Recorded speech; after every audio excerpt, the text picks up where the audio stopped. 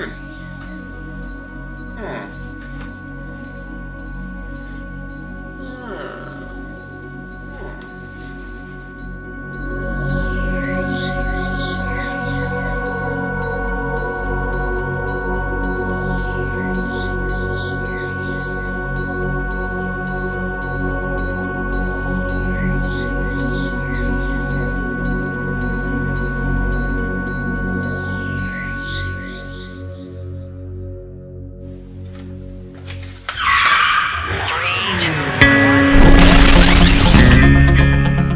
I'm Fireball Tim, and armed with a GoPro, a Sony camera, and a MacBook, I'm gonna ride in some of the coolest cars on the planet. Welcome to Ride Along Season 2.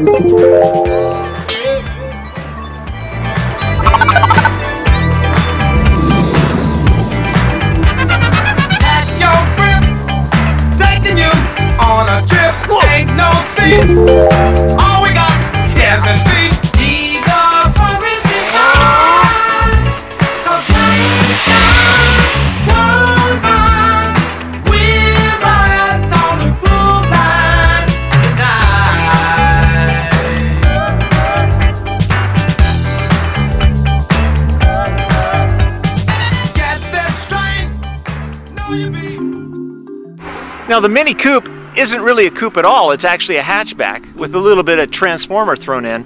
But at 208 horsepower and 2,700 pounds, it's also a bit of a rocket. And for those of you that have actually had a Mini before, you know it's built for one thing and one thing only, and that's curves.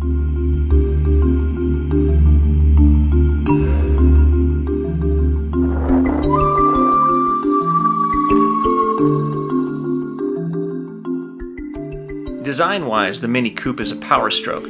They've taken the best of what Mini's already done and made it an even tighter package. The exterior styling is inventive, cool, and fun. What's going to happen in the future for the Mini? Only time will tell.